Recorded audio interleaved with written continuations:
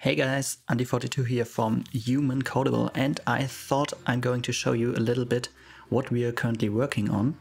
I was posting some screenshots of the new drag component lately, but um, to be honest nobody was knowing what I really talk about, so I'm going to show you here.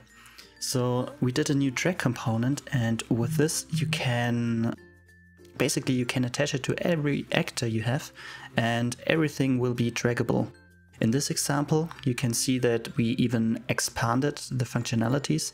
So now it's not only possible to drag in one direction, but it's possible to drag in all directions and even you can move the object around in the XYZ axis, but you can also rotate it. So everything works with one simple component now.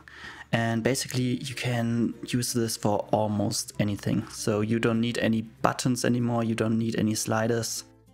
Here's a simple example where I'm going to show you that you can pull it up, pull it down, rotate it around this axis. Or in this case, if I lift this up, it's automatically being rotated.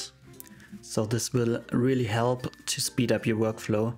You don't need any big parent-child hierarchies anymore, so just uh, drop the component on the actor you want to move. And I'm going to show you a simple example.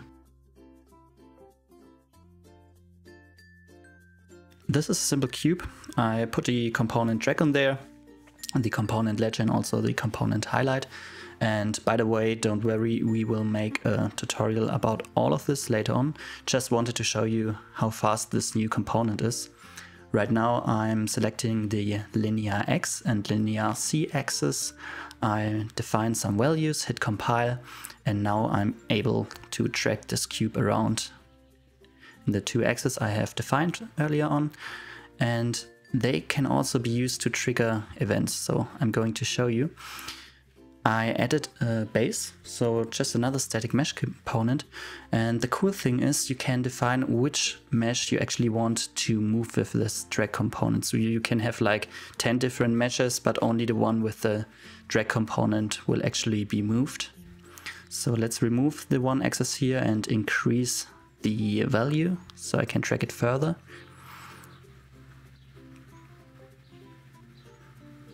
And now you can see it's locked to this one axis and I can slide it around to this one value.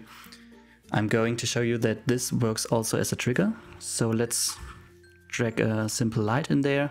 It has the component listen to trigger and I'm just selecting my component drag, add both of those lights to my actors to trigger and everything should work out of the box. So now if I drag the cube around, you can see the light starts increasing or decreasing depending on the direction I am sliding. And one last thing I wanted to show you, we um, improved the highlight component.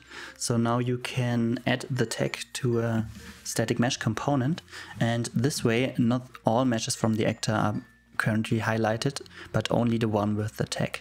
If you liked the video, make sure to like and subscribe and stay tuned for more updates regarding the multi-user update coming soon. Thanks.